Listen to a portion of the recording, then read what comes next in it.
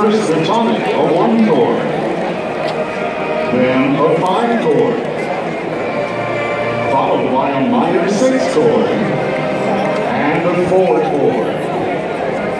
And that's it.